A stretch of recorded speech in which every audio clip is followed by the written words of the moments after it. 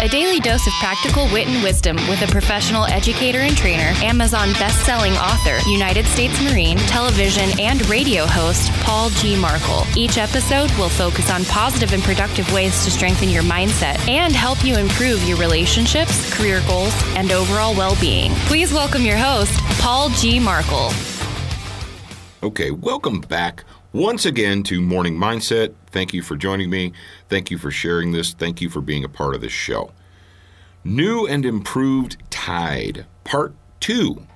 We're going to talk about change. Now, yesterday we, we said that uh, oftentimes when we do new and improved tide, or when we hear that, newness or improvements, are they necessarily better? You say, well, you know, new is always better and improved is always better. But is it really?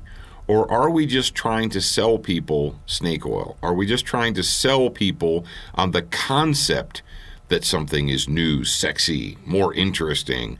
Is it really? Are we making it better or are we just changing it for the sake of change? Now, change can be a positive. Obviously, we've talked about this before, but uh, in the new and improved tide syndrome, could there be a reason to make the tide new? Could there be a reason to change it? Did we find a new formula that works better? And if that is the case, great, awesome. Many people who uh, have been using powdered detergent or liquid detergent for all their lives, you know, they're like, well, you know, I get the powder everywhere, or sometimes it leaves a film behind, or this or that, or whatever. And these Tide Pods are much better.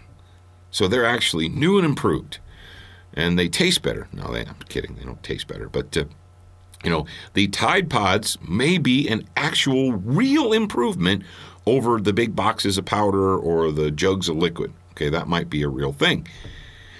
But before you walk into a situation and decide, hey, we need to change this product, we need to change this method, we need to change the way we're thinking. Why?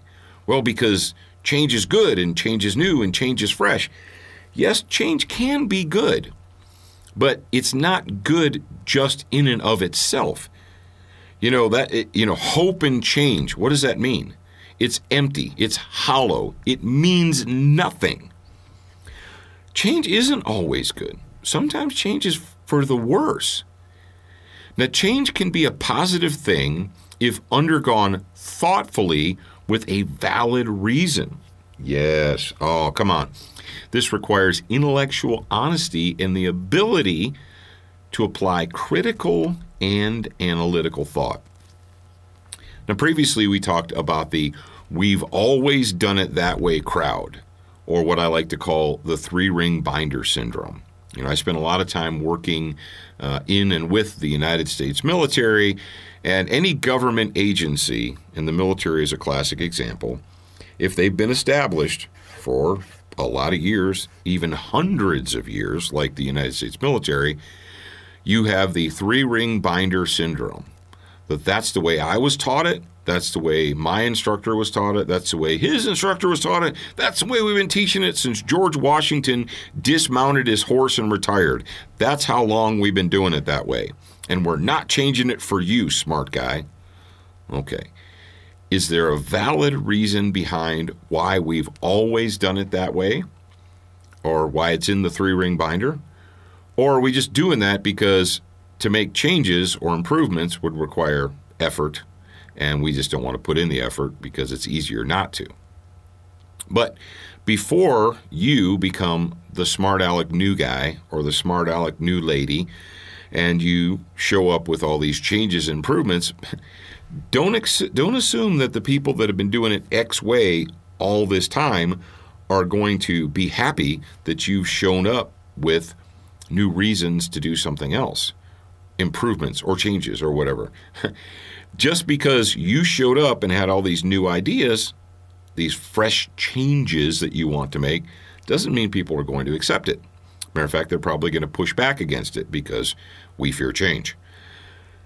Before you make suggestions for improvement, before you walk up and say, hey, let's change this, let's do this differently, you need to be prepared to back that up with some type of real data, or at very least, a well thought out reason. If you go to someone and you say, hey, let's do it this way, and they say, all right, why?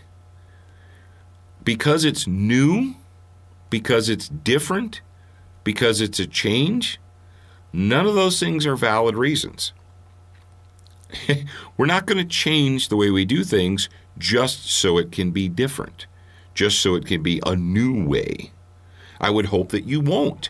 I would hope that you wouldn't make changes just because you think it'll be new or cool or sexy or what have you. How many of you out there have encountered products in your daily life and you think, this product was an answer looking for a question? No one needs this product, but here it is anyway. that kind of falls in the uh, the category of just because you can do something doesn't necessarily mean you should. I mean, you can make a hot dog sundae. Doesn't mean you should, but you can. So when it comes to new and improved Tide part number 2, yes, change can be a positive. Change can be a good thing.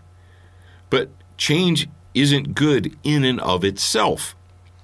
And if you're going to lead a positive and productive and successful life, before you just institute a change for the sake of change, you need to actually have a well thought out, analytical, critical reason to do so. And you need to be able to explain that. You know, because not everybody's going to say, hey, yeah, let's just change it for fun or let's change it just because. No. That's how things actually genuinely improve. That's how we make things genuinely better, is by having well thought out, critical, analytical thoughts and reasons to make that change. All right, so new and improved pot, tide part two change can be a good thing, but be prepared to give your reasons why. Like I said, just because you can doesn't mean you should. All right, folks, I am Paul Markel, and I will talk to you again real soon. Time with us today. To get show notes, submit a topic request, and for more from your host, Paul G. Markel, visit morningmindsetpodcast.com. That's morning mindset podcast.com. Please leave a review for this podcast on your favorite podcast player. We appreciate your time and effort, and we look forward to reading your honest feedback.